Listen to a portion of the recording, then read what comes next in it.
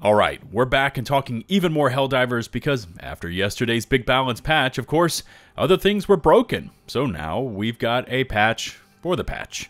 There's also been some dev responses to some of the changes contained in that patch because not everything was seen as positive. We've got to check in on our major order because it is shifted ever so slightly. There's even an award dispatch from Helldivers HQ and a bit more.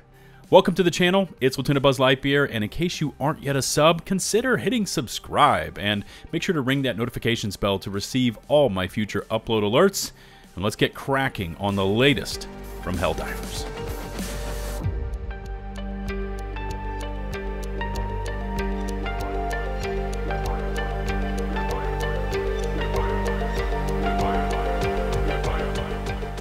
Okay, jumping straight into the thick of it, and the current major order involving that three pronged attack and defend of Malevelon Creek, Ubanea, and Draupnir is currently sitting at 100% pegged in all three areas, and huge high fives for everyone that has been doing their part to spread managed democracy. Now, this one involved liberation campaigns and defense missions as well, and we just need to hold on for the next 22 ish hours or so, and those 40 medals are in the bag. But, as expected, Game Master Joel is doing what he does best and has also ignited a defense campaign in the neighboring Trigon sector on Vandalon 4, which, if we don't repel those automatons, could open up Malevelon Creek. Again, again, again. I don't know how many times it's been, but yeah, that's the current hotspot in automaton territory. And be forewarned, Vandalon 4 is a real slogfest, namely due to the terrain itself. Now, you are essentially dropping onto Hoth, so expect frigid cold and deep snow, the first of which affects rate of fire, while that snow is going to slow you down considerably. And you might want to consider using the Muscle Enhancement Booster to try to counter that just a bit. Also, Vandalon 4 has intense blizzards that roll in, and these will further hurt your mobility and make it damn near impossible to see. The effects tab also says that visibility for the bots is moderately reduced, which I'm going to call a friendly bullshit on because we just got done rolling through a hell dive on Vandalon, and the flares were being called in left and right in the middle of those blizzards. While we were not in combat and we were not firing our weapons, we couldn't see the bots, they couldn't see us, so Clearly, they have thermal or LiDAR, which was actually mentioned in my Helldiver Discord discussions, and shout out to everyone over there taking part in those. And if anyone at Arrowhead sees this video, we need the same in our Helldiver helmets. The bots seem to be able to see through whatever smoke from explosions, blizzards, other extreme weather, even fire. So let's get a future major order together where we have to capture automaton tech plants so we can get some of that awesome tech built into our visors. I'm all in for this idea. Now, who's with me? And the last few discussion items concerning our current orders. The Superstore has reset again, and we've now got the CE74 Breaker lightweight armor with engineering kit with reduced recoil and plus two grenades, the CE74 Breaker helmet, the B24 Enforcer helmet, and of course the B24 Enforcer hybrid medium heavy armor with fortified for reduced recoil and 50% resistance to explosive damage. Today's daily order is you're going to need to knock out 200 kills with the Stalwart. Probably best to hit a bug campaign for that one. And finally, we've got a new bit in the Dispatch tab along with a tweet from Helldivers HQ. Now, since we've finally taken back Malevelon Creek, and considering the significance of that planet, here's the new Dispatch. The president of Super Earth has officially recognized this day as Malevelon Creek Memorial Day. Every year on this day, Super Earth citizens will unite for a full three minutes of their lunch break and solemn remembrance of those who gave their lives to free Malevelon Creek. In addition, all Helldivers have been issued a special commemorative cape so they may carry the memory of their fallen companions into battle. I've got to say that Arrowhead has really embraced this storyline of the game, and how they weave in the lore is just done so very well. Now, I saw this dispatch and spent a good few minutes looking for some sort of new cape, but it hasn't arrived yet, at least not for me. Kind of like those medals we are due from the previous major order liberation of the creek. But we also did just get this tweet from Helldivers HQ echoing the dispatch and giving us a look at the Fallen Heroes Vengeance Cape, which I assume will be hitting our inventory sometime soon. Now, what's awesome to see are some of these responses to the tweet, including from PlayStation UK and Opera GX. And it just gives you an idea of how widespread the love for the Helldivers franchise has become.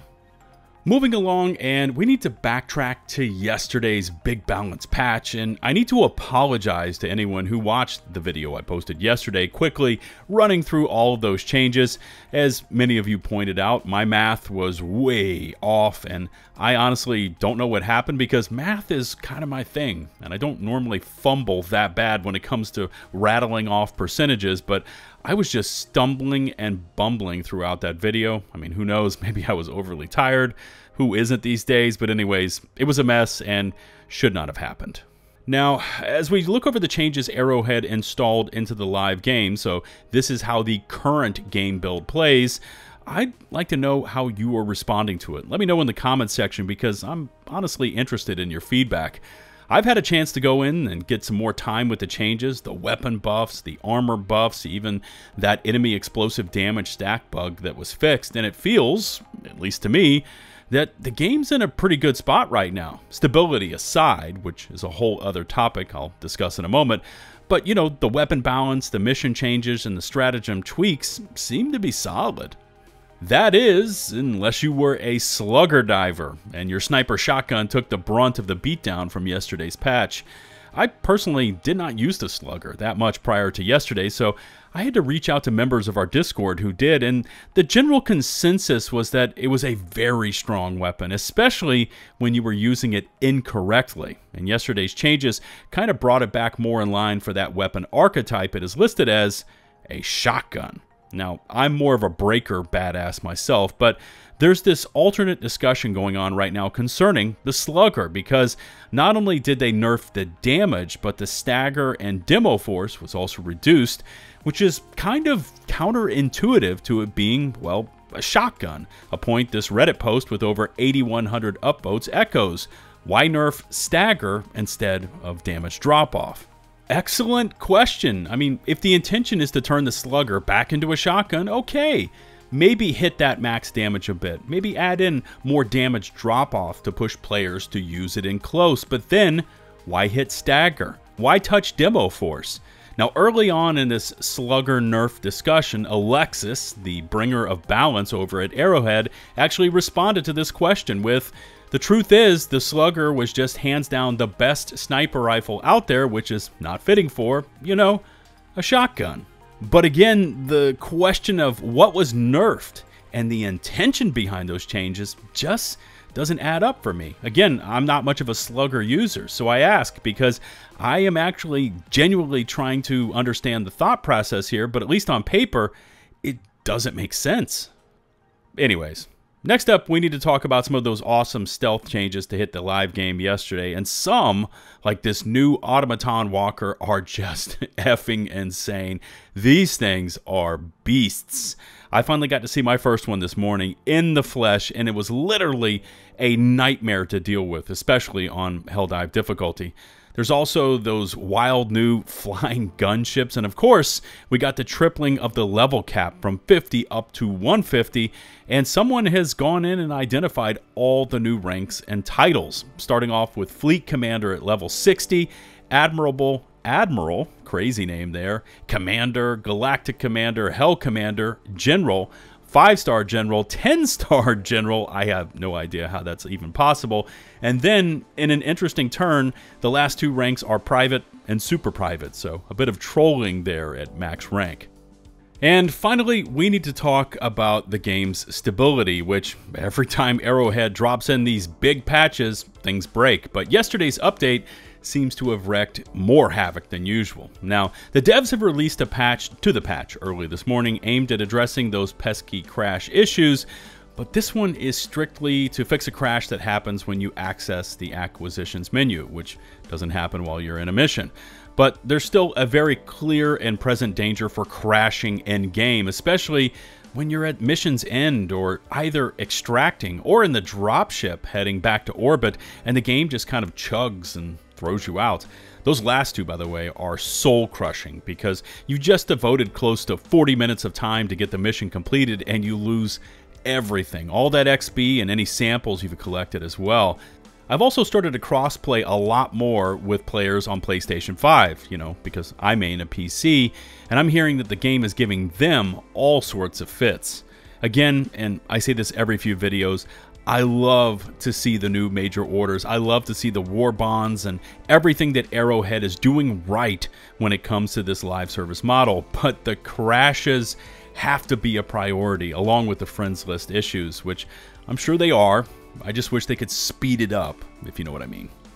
Alright, that's it for today. Remember to leave me some feedback concerning yesterday's Big Balance patch. Remember to hit subscribe and ring that notifications bell to receive my latest upload alerts. All my social links, including Twitter and Discord, can be found in the video description, along with an open invite link to my awesome Helldivers Discord community. We've been staying really active in the discussions channels, and of course, the LFG area and free voice channels are super popular.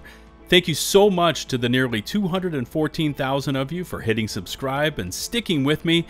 I am planning to start up my coverage of other titles again very soon, so expect to start seeing some ARK, Division, and Starfield content make its way back into the upload rotation.